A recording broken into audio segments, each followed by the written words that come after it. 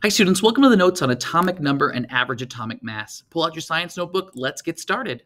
Here's the essential question I recommend you write at the top of your page. How do we determine the number of protons, neutrons, and electrons of an atom? Before we directly answer that question, I want to pay tribute to all the scientists who helped contribute to our knowledge of the atom over the years. Even back in 460 BC, Democritus determined or came up with the idea that atoms exist and, at, and he came up with the term atomos, meaning uncuttable.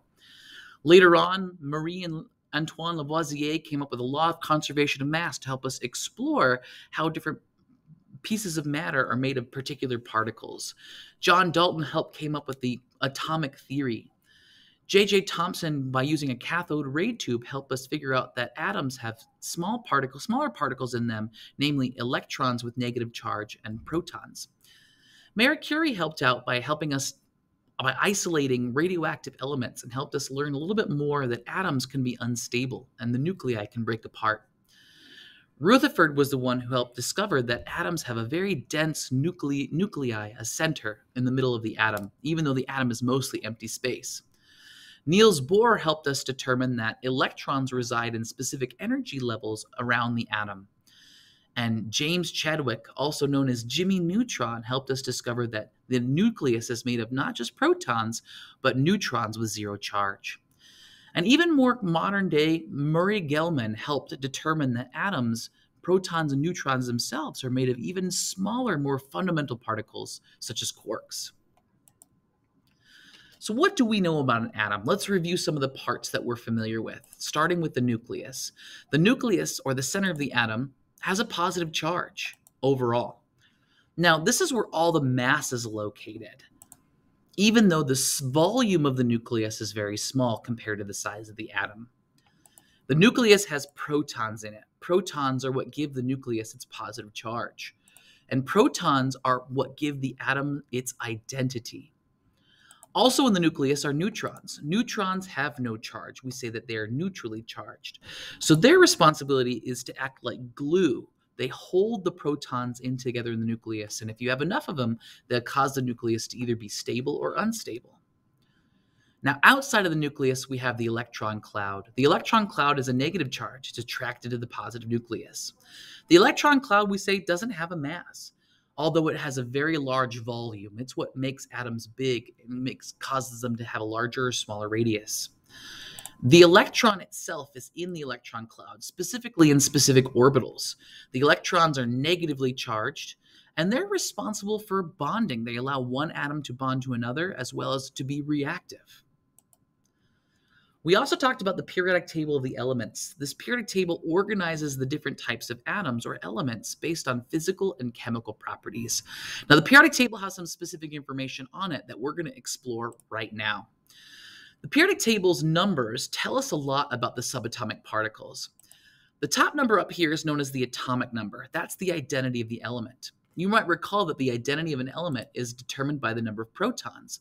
So this number, the atomic number, is just the number of protons, and that's always true for each element you see on the periodic table. So this number six lets us know that this is carbon, and the element symbol for carbon is C. And this is the element name, also typically written on the periodic table. The last bit of information here on the bottom is the atomic mass, and this represents the mass of the nucleus. Now, the mass you see here is an average of many of the elements of carbon, which we'll talk about later when we talk about isotopes. But the atomic mass can help us determine the number of neutrons. The number of neutrons, remember, along with the protons, are part of an atom's mass. So, knowing that, we can figure out how many neutrons an atom has. If we take the atomic mass and round it, and subtract the atomic number, which is the number of protons, we can determine the leftovers in the mass, which is the number of neutrons. So again, this is for the average isotope, and we'll talk about isotopes later, but that's how you determine the number of neutrons. What about electrons? Well, the periodic table doesn't have anything directly related to electrons, but we can determine the number of electrons for neutrally charged atoms. And most atoms are neutrally charged as they reside around the Earth. The number of electrons is equal to the number of protons, and the reason for that is, is because they're oppositely charged. The electrons are attracted to the protons. Therefore, there should be enough of them to cancel out the number of protons. So let's try this out. Here's carbon, if we take a look on our periodic table, we're starting with the atomic number six. That's the number of protons. There are six protons for carbon. How about neutrons? Well, if we take the mass and round it, which is 12, and subtract the number of protons, which is there's six protons, then we're left over with the number of neutrons in the mass, which is six. So carbon has six neutrons. Electrons are also six. Remember, electrons are the same as protons if the element is neutral, which we're going to assume that it is at the moment. Try out the student practice yourself. How many of each subatomic particle does an average neutral gold atom have? Has. Here is gold as it's written on the periodic table. Pause the video right now and see if you can solve this. How many protons, neutrons, and electrons does an average neutral gold atom have? Did you try it yourself? I sure hope so. Based on the periodic table and the things we see, there are 79 protons. That's pretty easy because the atomic number is the number of protons for every atom, and that never changes. Now, here, the number of neutrons can be found to be 118. How did we get that number? Well, we need to take the atomic mass. The atomic mass here, if we round it, is 197. Remember, neutrons come in whole numbers, so we're going to need to round this number. We're going to subtract the number of protons, which is 79. That leads us with the number of neutrons.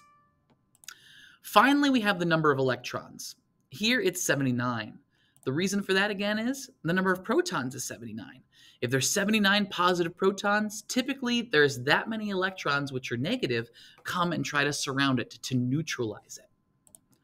That leads us to the end of our notes. Take a moment right now and review and highlight key terms.